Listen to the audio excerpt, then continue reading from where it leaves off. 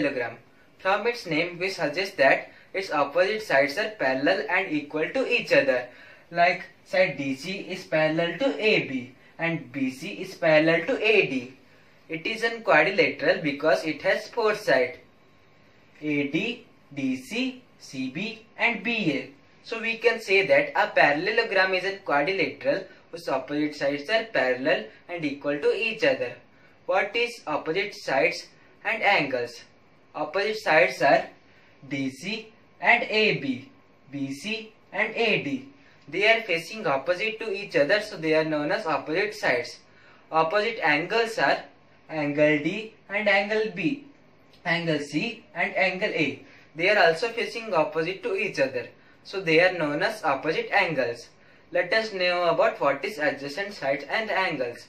When one of the sides start, when another end is known as adjacent sides. Like DC and CB is one adjacent side and BA and AD is another adjacent side. Adjacent angles are when two angles lie on the same side is known as adjacent angles. Like angle D and angle C lie on the same side DC. So they are known as adjacent angles. And more examples are CB, BA and AD. These are some more examples of adjacent angles.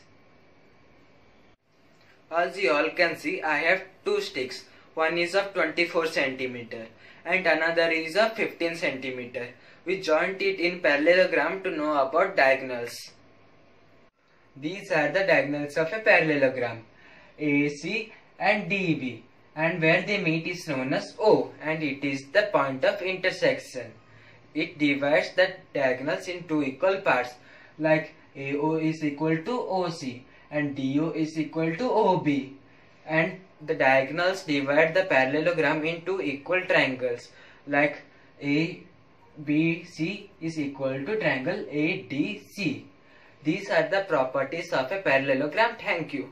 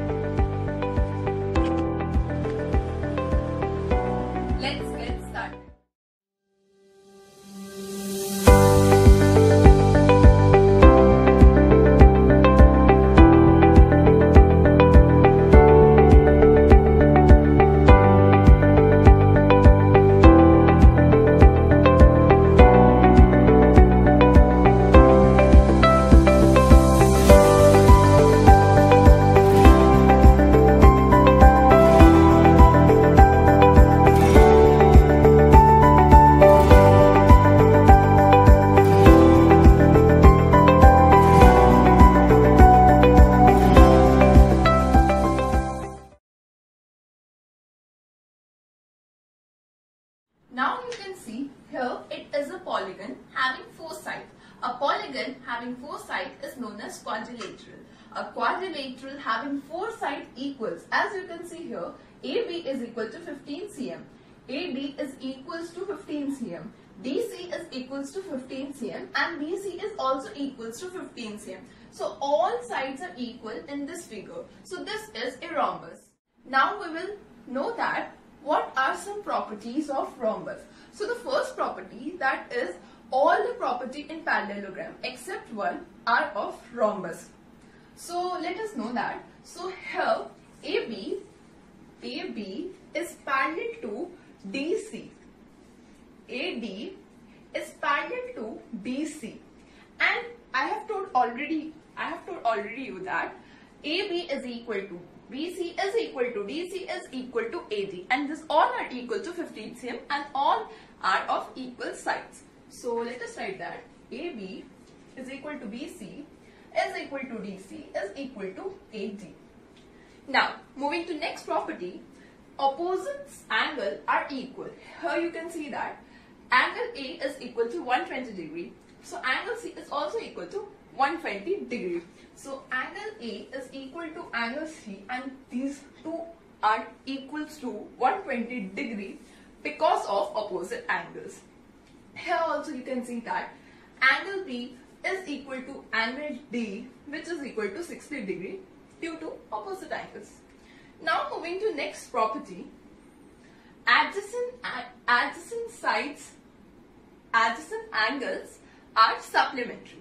Now let me prove that as you know that AD is parallel to BC, right? So we know that one side of the transversal sum is 180 degree, right?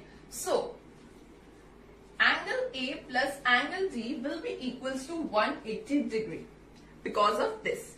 So 120 degree plus 60 degree will be equals to 180 degree. Right? So here also angle A plus angle B will be equals to 180 degree. Angle B plus angle C will be equals to 180 degree. Angle D plus angle C will be equals to 180 degree. You can add up this. Now moving next, these their diagonals are not equal but they bisect each other let let me tell you how so AC AC bisect DB as in this figure and is this rhombus AC AC and DB are diagonals are diagonals so DP is bisected by AC in two equal parts. So we can conclude from this is DO is equal to OB. Right?